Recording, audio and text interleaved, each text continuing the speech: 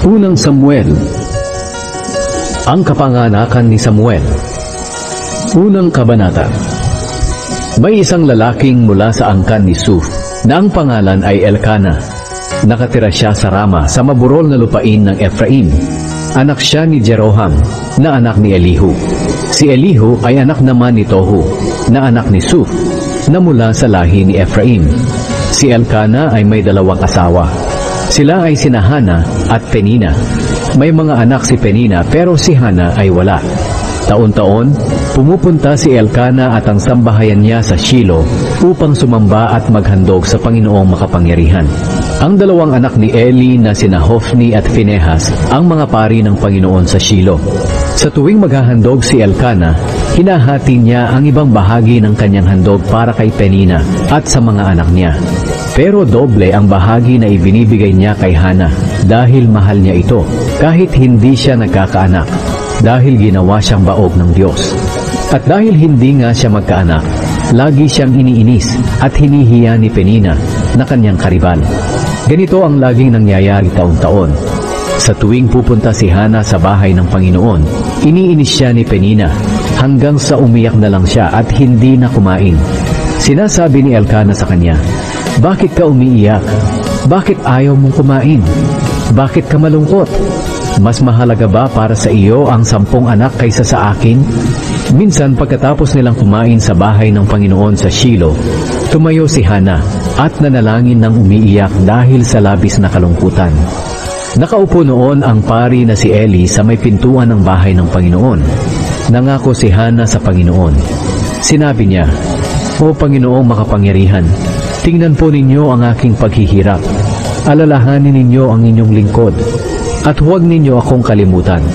Kung bibigyan niyo po ako ng isang anak na lalaki, ihahandog ko siya sa inyo para maglingkod sa inyo sa buong buhay niya. At bilang tanda ng lubos niyang pagsunod sa inyo, hindi ko po pagugupitan ang kanyang buhok. Habang patuloy siyang nananalangin sa Panginoon, nakita ni Eli na bumubuka ang bibig ni Hana pero hindi naririnig ang kanyang boses. Inakala ni Eli na lasing si Hana. Kaya sinabi niya sa kanya, Hanggang kailan ka maglalasing? Tigilan mo na ang pag-inom. Sumagot si Hana, Hindi po ako lasing at hindi po ako nakainom ng kahit anong klase ng inumin. Ibinubuhos ko lang po sa Panginoon ang paghihirap na aking nararamdaman. Huwag po ninyong isipin na masama akong babae. Nananalangin po ako rito dahil sa labis na kalungkutan. Sinabi ni Eli, Sige, umuwi kang mapayapa. Sana'y ipagkaloob ng Diyos ng Israel ang hinihiling mo sa Kanya. Sumagot si Hana, Salamat po sa kabutihan ninyo sa akin. Pagkatapos ay umalis na siya at kumain, at nawala na ang lungkot sa kanyang mukha. Kinabukasan, maagang bumangon si Elkana at ang kanyang pamilya, at sila'y sumamba sa Panginoon. Pagkatapos ay umuwi sila sa bahay nila sa Rama. Sinipingan ni Elkana si Hana at sinagot ng Panginoon ang panalangin ni Hana na bigyan siya ng anak. At dumating ang panahon na nagpuntis siya at nanganak ng isang lalaki. Pinangalanan niya itong Samuel dahil sinabi niya, hiningi ko siya sa Panginoon. Inihandog ni Hana si Samuel Muling dumating ang panahon na si Elkana at ang buo niyang pamilya ay maghahandog sa Panginoon gaya ng ginagawa nila taon-taon. Ito rin ang panahon na maghahandog siya bilang pagtupad sa panata niya sa Panginoon. Pero hindi sumama si Hana.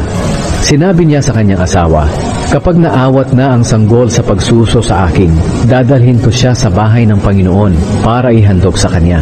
Doon na siya titira sa buong buhay niya. Sumagot si Elkana, Gawin mo kung ano ang sa tingin mo'y mabuti. Dito ka na lang muna hanggang sa maawat mo na ang sanggol. Tulungan ka sana ng Panginoon na matupad ang ipinangako mo sa Kanya. Kaya nagpaiwan si Hana at inalagaan ang kanyang anak. Nang maawat na ang bata, dinala siya ni Hana sa bahay ng Panginoon sa Shilo. Nagdala rin siya ng tatlong taong gulang na toro, kalahating sako ng harina, at katas ng ubas na nakalagay sa balat na sisidlan. Matapos katayin ang toro, dinala nila si Samuel kay Eli. Sinabi ni Hana kay Eli, Kung natatandaan niyo po, ako ang babaeng tumayo rito noon na nanalangin sa Panginoon. Hiningi ko po ang batang ito sa Panginoon at ibinigay niya ang kahilingan ko. Kaya ngayon, ihahandog ko po siya sa Panginoon. Maglilingkod po ang batang ito sa Panginoon sa buong buhay niya. Pagkatapos ay sumamba sila sa Panginoon.